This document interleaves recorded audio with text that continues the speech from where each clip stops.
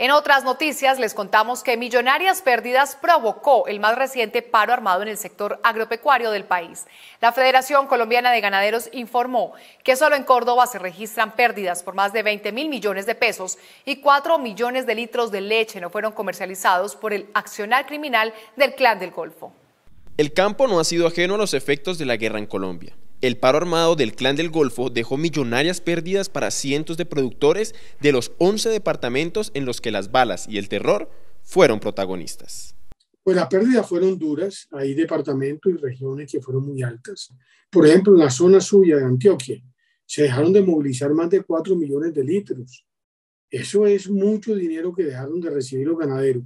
En Antioquia las pérdidas son inmensas. Se dejaron de transar cerca de 6.500 bovinos y solo en el occidente del departamento, Colanta dejó de acopiar cerca de 200.000 litros de leche en dos días. A ver, sobre todo eh, fue muy complicado para la recogida de la leche porque la orden de, en el paro armado era que los carrotanques no podrían entrar a las fincas a recoger la leche y tener uno que botar la leche a la manga o a la cantarilla, pues es gravísimo porque el gobierno a uno no le va a reconocer nada de eso. En Atlántico, Magdalena y Bolívar, la comercialización de ganado también se paralizó y se dejaron de acopiar cerca de 1.500.000 litros de leche, con pérdidas que se estiman en más de 22 mil millones de pesos. Por su parte, en Córdoba, más de 7.000 reses y 4 millones de litros de leche no se pudieron comercializar, con pérdidas superiores a los 20 mil millones de pesos. El narcotráfico volvió otra vez a ser el principal problema del país, porque claro, tenemos los 240 mil hectáreas.